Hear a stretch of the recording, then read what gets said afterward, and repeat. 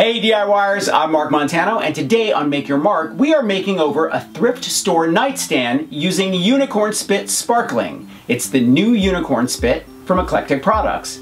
Now before I forget, I want you to thumbs up if you like this video, and leave me a comment if you have a question about this project, or you just want to say hello. Are you ready? Let's make over a nightstand.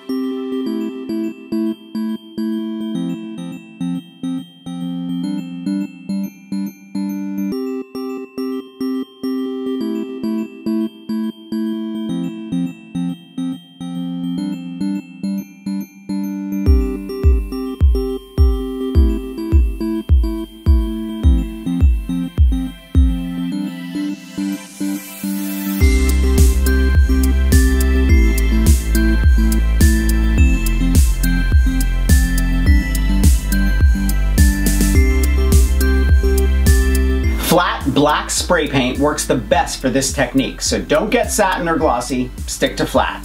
Thumbs up if you like this video, leave me a comment and I will get back to you. Subscribe to my channel if you haven't already. Grab a copy of the Big Ass Book of Home Decor and I will see you next week. Bye.